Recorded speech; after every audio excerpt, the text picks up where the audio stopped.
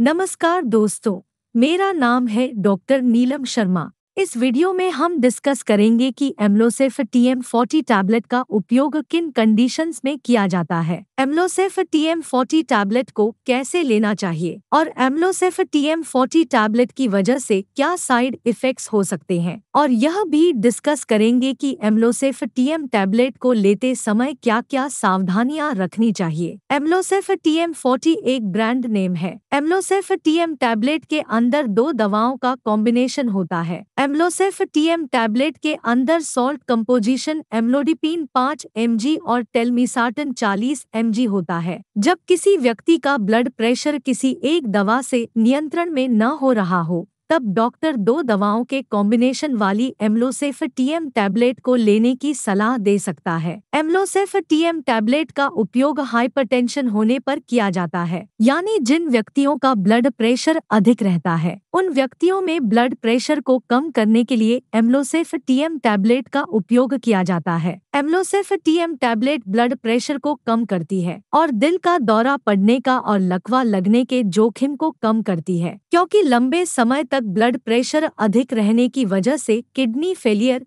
Heart failure दिल का दौरा पड़ने का और लकवा लगने का जोखिम अधिक हो जाता है। इसके अलावा लंबे समय तक ब्लड प्रेशर अधिक रहने की वजह से आँखों की ब्लड वेसल भी डैमेज हो सकती है और आँखों की देखने की दृष्टि कम हो सकती है। एक नॉर्मल व्यक्ति का ब्लड प्रेशर 120-80 होता है। अगर किसी व्यक्ति का ब्लड प्रेशर ऊपर वाला 140 से ज़्यादा और नीचे वाला 90 से ज़्यादा है तो हम कह सकते हैं कि उस व्यक्ति का ब्लड प्रेशर ज़्यादा है। साइड इफेक्ट्स की बात करें तो वैसे तो ज़्यादातर व्यक्तियों में एमलोसेफ टीएम टैबलेट की वजह से कोई साइड इफेक्ट्स नहीं होते हैं। लेकिन कुछ परसेंट व्यक्तियों में एमलोसेफ टीएम टैबलेट की वजह से कुछ साइड इफेक्ट्स हो सकते हैं, जैसे सिरदर्द होना, शरीर में थकान होना, उल्टी आने का मन होना, हाथों व पैरों में सूजन होना, पेट में दर्द होना, चक्कर आना, घबराहट होना, दस्त होना,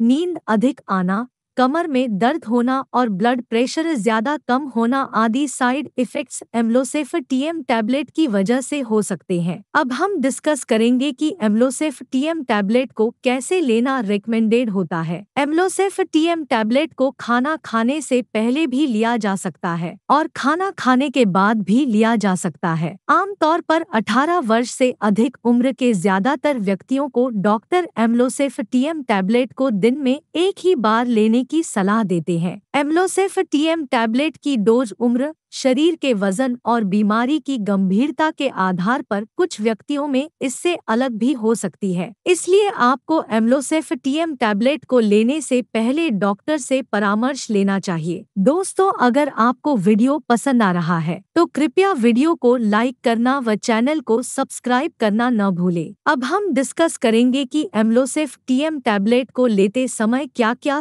सावधानियाँ रखनी चाहिए। ब्लड प्रेशर को अच्छी तरह से नियंत्रण में करने के लिए आपको एम्लोसेफ टीएम टैबलेट के साथ साथ नमक का सेवन कम करना चाहिए। स्मोकिंग नहीं करनी चाहिए और अगर आपके शरीर का वज़न ज़्यादा है तो शरीर के वज़न को कम करना चाहिए। इसके अलावा ब्लड प्रेशर को अच्छी तरह से नियंत्रण में लाने के लिए आपको रेगुलर एक्सरसाइज करनी चाहिए। प्रेग्नेंट महिलाओं और स्तनपान करा रही महिलाओं के लिए एम्लोसेफ टीएम टैबलेट का सेवन करना सुरक्षित व रिकमेंडेड नहीं है। एमलोसेफ टीएम टैबलेट माँ के गर्भ में पल रहे बच्चे को नुकसान पहुँचा सकती है और स्तनपान करा रही महिलाओं में एमलोसेफ टीएम टैबलेट माँ के दूध के ज़रिए बच्चे तक पहुँच सकती है और दूध पीने वाले बच्चे में साइड इफेक्ट्स पैदा कर सकती है। इसलिए प्रेग्नेंट महिलाओं और स्तनपान करा रही महिलाओं को एमलोसेफ टीएम टैबलेट को डॉक्टर की सलाह के बिना नहीं लेना चाहिए। वीडियो को देखने के लिए आपका